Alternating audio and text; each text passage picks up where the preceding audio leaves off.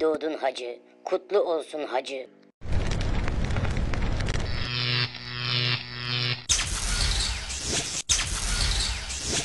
Sen hatırlamazsın ama yıllar önce tam da bugün dünyaya gelmiştim.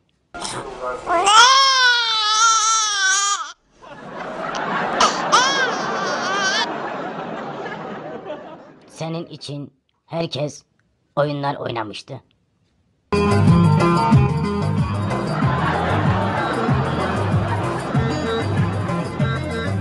Arkadaşların senin için türküler söylemişti.